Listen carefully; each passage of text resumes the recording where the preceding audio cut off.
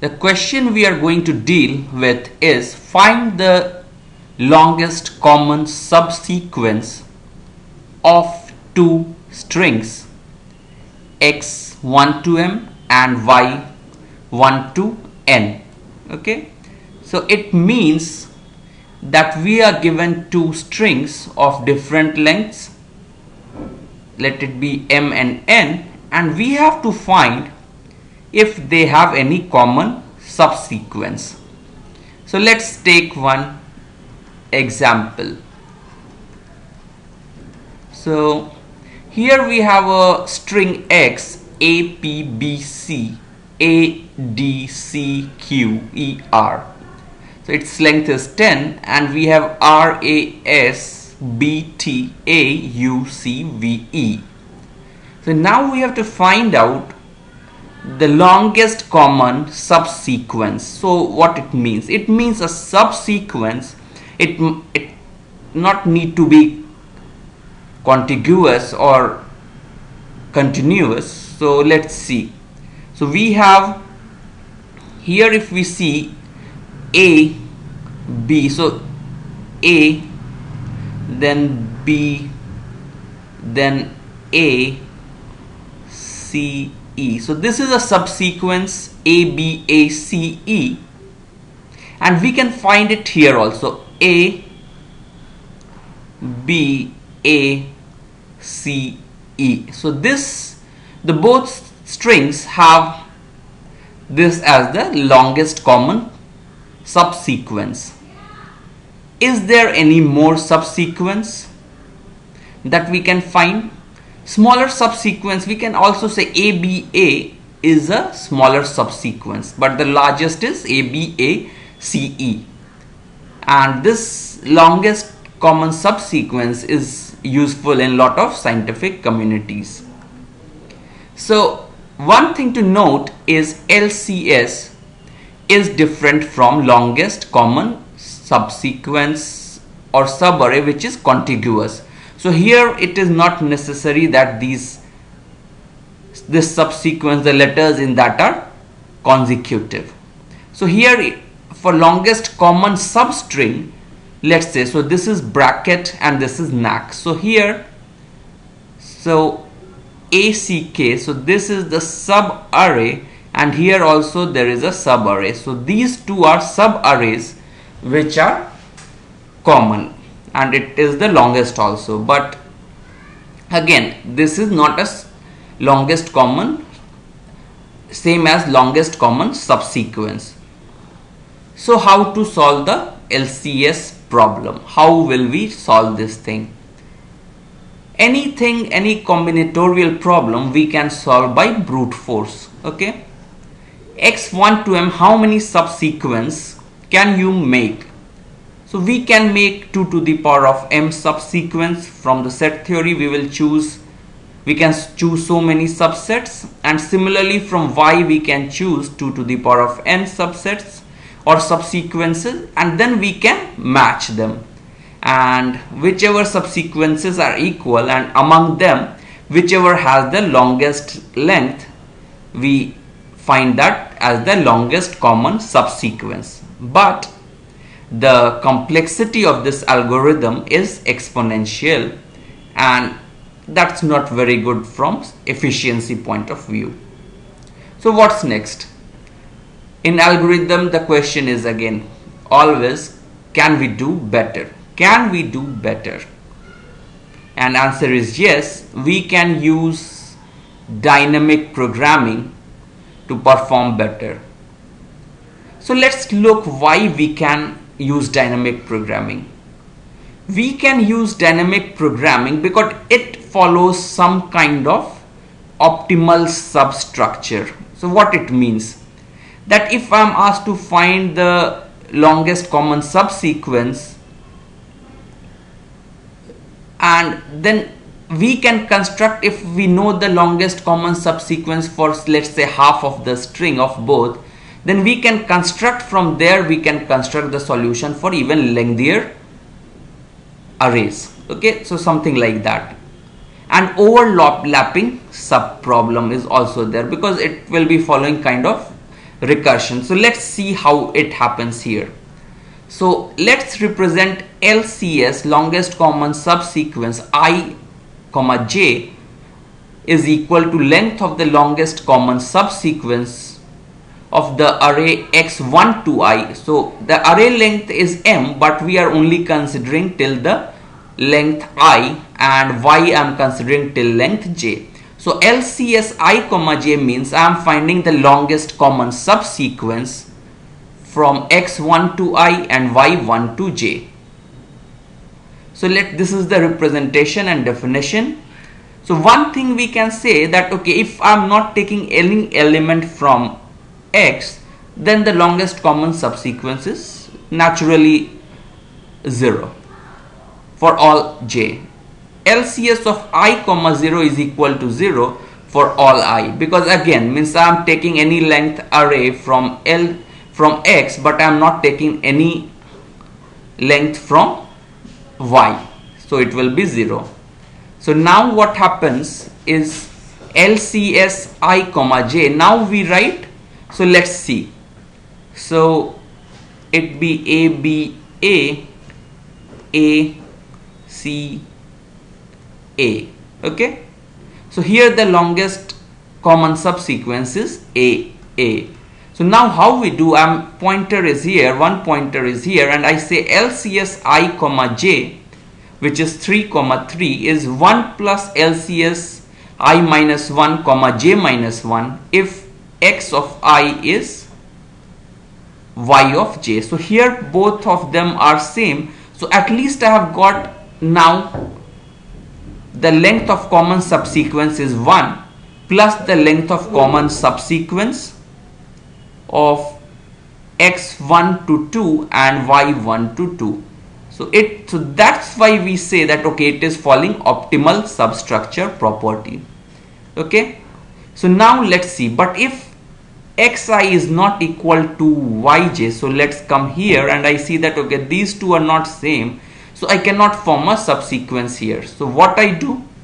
Lcs i comma j is i will now search this one i will take as common and I will try to search in the left part of the sub of this array x or otherwise what I will do is I will try to find the LCS taking this one and trying to search for B in this part of the second array.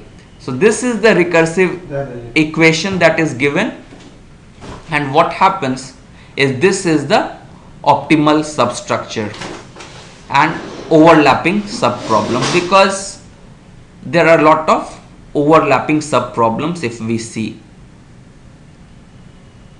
So this way we find the recursive equation and we will see that so now we have to construct the code. So what we do is we do in dynamic programming bottom up construction. So we do a bottom up construction and we try to solve the question from smaller sub problems and construct the higher sub problem from that. So before going to the or let's see the code so what I do so we see that we have to find we have to construct a matrix LCS i comma j. So if the length is m of x and n for y so I will call I have to find LCS m comma n. But this is the largest problem.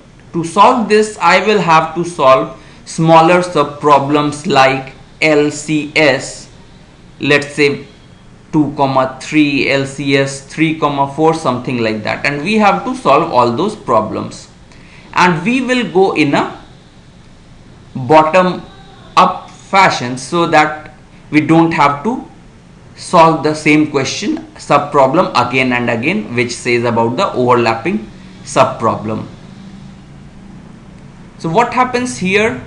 So we will be constructing a matrix or two dimensional array of size m cross n m plus 1 cross n plus 1 because we are taking 0 element also from them. So it will be initialization will be like we told this formula lcs 0 comma j is 0 lcs i comma 0 is 0 so we try to do it in these two parts of the code. And then what we do for int i is equal to 1 to m and int j is equal to 1 to n. So what we do if x i is equal to yj then what we do? Lcs i j is equal to 1 plus lcs i minus 1 j minus 1 and as we see we are going from in the 2d array we are first growing from left to right and then we are going from top to bottom. So it means I am increasing j keeping i as constant and then I am increasing i also in this direction. So when I try to calculate LCS ij I already know LCS i minus 1 j minus 1 or otherwise if xi is not equal to yj so what I do? LCS ij is max. So max is a function which returns max of LCS i minus 1 comma j which is already calculated when calculated when I'm calculating LCS ij and LCS i comma j minus 1 so both of these are already known. So this way I'm able to construct my table and my final solution will be x of m y of n. So this is the so LCS m comma n is my length of the longest common subsequence. And we see from here that it takes just O of m n isn't it? It takes this amount of this is the complexity. Okay? And so let's see. So we will take one example.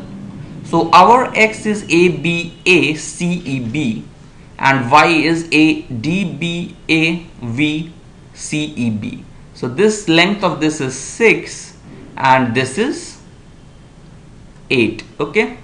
So m is 6 and n is equal to 8 and I've already calculated the 2D array using my code. And let's see first. So what I was telling is first this is LCS